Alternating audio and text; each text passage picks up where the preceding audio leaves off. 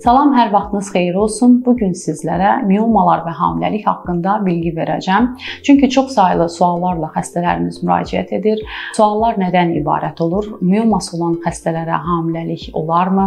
Hamiləlik zamanı miomalar hamiləliyə dölə necə təsir eləyir və yaxud da hamiləlik miomanın gedişatına necə təsir eləyir və yaxud da mioman var, mənə deyirlər hamilə qalsam mioman sağalacaq deyə suallarla çox müraciətlər edirlər.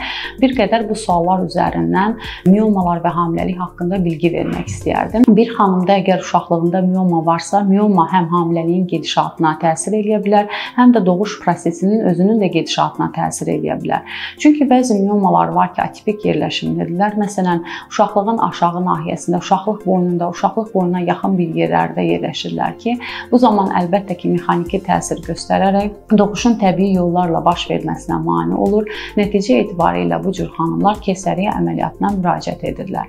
Bəlli bir ölçüyə qədər olan intramural düyünlər, yəni uşaqlıq əzələsinin içərisində yerləşən düyünlər vardır ki, bu düyünlərin olması nə hamiləliyin gedişatına təsir etmir, nə də hamiləlik e, miomanın öz xüsusiyyətlərinin dəyişməsinə təsir eləmir. Bəzi xəstələrimiz məsələn subseroz mioma ilə olur ki, bu miomalar ayaqcıq üzərində olur və yaxud da iri ölçülü miomalarla müraciət edirlər ki, bilirik ki, uşaqlıq hamiləlik zamanı getdikcə böyüyür, böyüdükcə deyək ki, ayaqcıq üzərində əgər mioma varsa, onun ayaqcıq üzərində bulunmasını və yaxud da böyük ölçülüdürsə, ətraf toxumalara və yaxud da sümük toxumasına çanaq sümüyü ilə sıxılaraq mexaniki təzyiqə məruz qalmasına səbəb olur. Burada da əlbəttə miomanın qan təchizatının pozulması, nekrotik dəyişikliklərin yaranmasına, ikincili olaraq infeksion proseslərin qoşulmasına səbəb olur ki, nəticə etibarilə əməliyyata müraciət edirik, yəni hamiləliyin müddətindən asılı olmayaraq əməliyyat sadəcə miomaların götürülməsi deyil, hətta ananın həyatını qurtarmaq üçün uşaqlığın götürülməsi ilə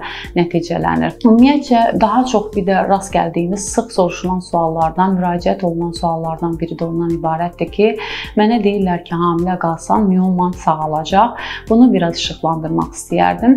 Miomalar özü əzələ kütləsidir və uşaqlıq divarımız əzələ qapından ibarətdir ki, əlbəttə ki, miomanın əzələ yerləşməsi, əzələ strukturu matqan uşaqlığın əzələ strukturundan üst-üstə düşdüyündə uşaqlıq əzələsi böyüdükcə dartılır, nazilir. Nazildikcə əlbəttə ki, mioma da getdikcə nazilir. Hətta hamiləliyin gedişatı boyunca miomanın ölçülərinin kiçildiyini, hətta bəlli bir müddətdən sonra tamamilə proses olaraq vizualizə olunmadığını görə bilirik. Amma təəssüf ki, bu miomanın müalicə olması deyil, onun sadəcə fiziki xüsusiyyətlərinin böyüyən uşaqlığın əzələsindən asılı olaraq eyni uşaqlıq kimi özünü aparmasından asılıdır ki, bu cür xanımlar təəssüf ki, doğuşdan sonra uşaqlıq əzələsi formalaşdıqca mioma da öz strukturunu bərpa edir və yenidən bir neçə ay keçdikdən sonra tam formalaşmada ultrases müayinəsində yenə də miomanın yarandığı xəstəyə deyilir ki, xəstə sanki hamiləliyin miomasını müalicə etdiyini və hamiləlik bitdikdən sonra isə yeni bir miomanın